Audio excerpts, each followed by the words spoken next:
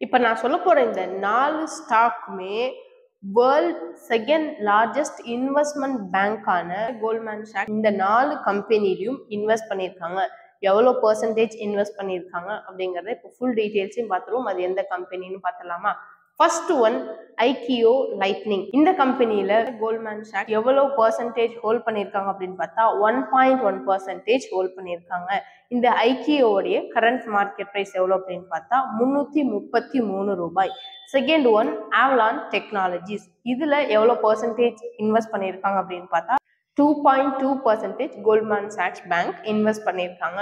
Four eighty four rupee இவங்களுடைய current market price third one landmark cars இவங்களுடைய ஷேர்ஸை Goldman சாக்ஸ் எவ்வளோ பர்சன்டேஜ் ஹோல்ட் பண்ணியிருக்காங்க அப்படின்னு பார்த்தா three point one percentage hold பண்ணியிருக்காங்க.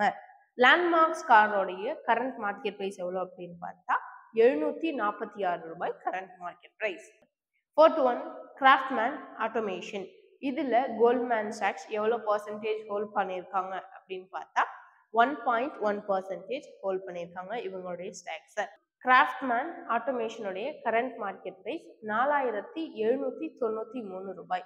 ஸோ இப்போ இந்த நாலு ஸ்டாக்ல வேர்ல்டோடைய செகண்ட் லார்ஜஸ்ட் இன்வெஸ்ட்மெண்ட் பேங்கான கோல்ட்மேன் சாக்ஸை இன்வெஸ்ட் பண்ணியிருக்கிறதுனால நீங்களும் இன்வெஸ்ட் பண்ணீங்க அப்படின்னா தாராளமாக உங்களுக்கு ஃபியூச்சரில் நிறையா ரிட்டர்ன்ஸ் கிடைக்கிறதுக்கு வாய்ப்புகள் அதிகமாக இருக்குது ஸோ ஒரு தடவை செல்ஃப் அனலைஸ் பண்ணி பார்த்து தாராளமாக இன்வெஸ்ட் பண்ணிக்கோங்க.